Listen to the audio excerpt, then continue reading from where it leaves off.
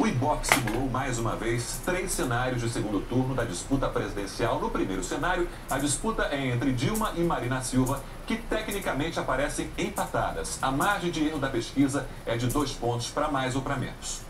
Este cenário, Marina aparecia com 43% nos dias 12 e 16 de setembro. Na semana passada, variou para 41%. E hoje a candidata do PSB tem 42%.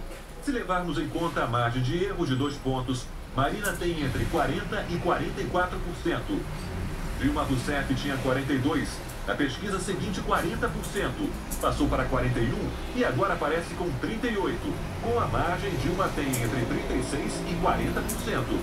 As duas candidatas estão tecnicamente empatadas no limite da margem de erro.